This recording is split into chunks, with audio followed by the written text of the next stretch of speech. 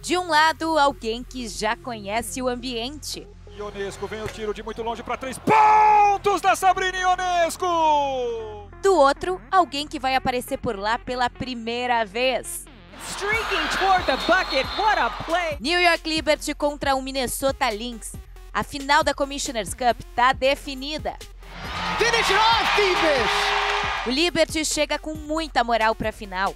Foi a única franquia invicta na fase classificatória. Conseguiu a vaga da Conferência Leste, derrubando a invencibilidade do Connecticut Sun. Agora vai buscar o segundo título consecutivo jogando em casa. Ionescu inside, scores the layup. Logo no primeiro jogo da Copa, o time de Nova York aplicou 36 pontos de diferença contra o Indiana Fever. No segundo jogo da Copa, a Brianna Stewart teve a melhor performance da temporada até agora. 33 pontos e 14 rebotes contra o Chicago Sky. Oh, contact, wow. making the tough shot, and she's got an and one. Stewart ainda anotou outro duplo-duplo contra o Atlanta Dream. Ela pode ser tricampeã da Commissioner's Cup. Lá na primeira edição, em 2021, ela venceu com a camisa do Seattle Storm e sendo a MVP da final da Copa.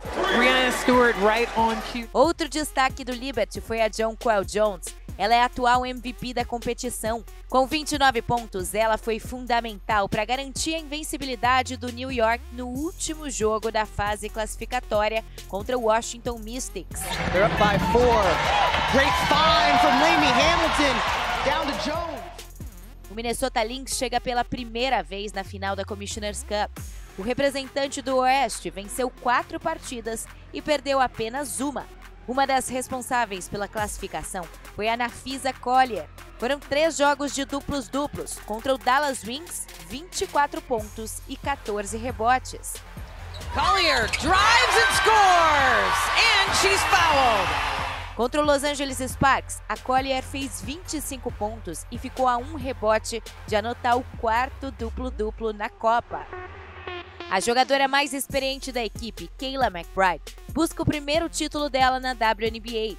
Contra o Seattle Storm no quarto jogo da Copa, a mão dela estava quente. A melhor arremessadora de três da temporada guardou sete bolas, 32 pontos na conta, a melhor pontuação dela na temporada até agora. McBride lines up the three, gotta look at it. Splash down for Caleb McBride. A classificação do Lynx veio na vitória contra o Las Vegas Aces na última rodada da fase da classificação. Um jogo em que todas as titulares fizeram pelo menos 10 pontos. They go outside to Collier, and she sticks the first one. A grande final da Commissioner's Cup é no dia 25 de junho. Vale a taça e um prêmio de 500 mil dólares. E aí nós vamos saber se teremos um bicampeão ou um campeão inédito. Bride. Oh, and one behind the arc potentially. Hi Brazil, Alicia Gray. Watch the WNBA on NBA's Brazil YouTube channel. Mais uma semana W e a gente tem que ficar de olho nessa dupla do Chicago Sky. A brasileira Camila Cardoso e a pivô Angel Reese, que eram rivais no college, agora jogam juntas e estão dominando o garrafão do Sky. A dupla conhecida como Chicago Skyscrapers ou as Torres de Chicago bateram um recorde de novatas que anotaram mais de 10 pontos e mais de 9 rebotes em uma só partida contra o Connecticut Sun essa semana e fecharam com um duplo-duplo de cada contra o Fever. A pivô Angel Reese, que se destaca pelo seu jogo físico, vai muito forte no rebote de ataque e chama atenção nessa jogada que ela consegue se manter estável mesmo com o contato da defesa. Angel Reese. Oh, Angel. E a Camila Cardoso, que tá voltando de lesão, mas já se mostra muito confiante. Ela é uma grande protetora do aro pro Chicago Sky e deu esse toco monstro na Diwana Bonner do Connecticut Sun. Cardoso from behind. E eu quero saber de vocês. Deixem aí nos comentários quem você acha que vai ser a próxima vítima da Camila. Hi Brazil, this is Nika Mule. Watch Semana W. Imagine só você marcar os primeiros pontos da WNBA, ser a primeira do seu time até a camisa aposentada e ainda ser a gerente geral mais longeva da liga. Hoje vamos conhecer mais sobre a história de Penny Toller. 21 de junho de 1997, Los Angeles Sparks contra New York Liberty. Primeiro jogo da história da WNBA. A armadora Penny Toller recebe a bola na zona morta, dribla e sobe para um arremesso histórico. The first basket in WNBA history is scored by Penny Toller out of Long Beach State. Being lucky enough to score the first basket in the history of the league, you ever wish and here it is. You wish for something and here it is. So I did score the first basket. Uh, I, I'm happy about it because it's a record that'll never be broken. Esses foram os pontos mais importantes da carreira de Penny Toller. Ela jogou três temporadas pelo Los Angeles Sparks. Foi a primeira jogadora da franquia a ter uma camisa aposentada. Hoje, o histórico número 11 de Toller tem a companhia do 9 de Liza Leslie. It's a huge honor to have your jersey retired, so it's huge. E assim que se aposentou das quadras em 1999, ela assumiu o cargo de gerente geral do Sparks. The first thing I said, I was lucky enough to get the job.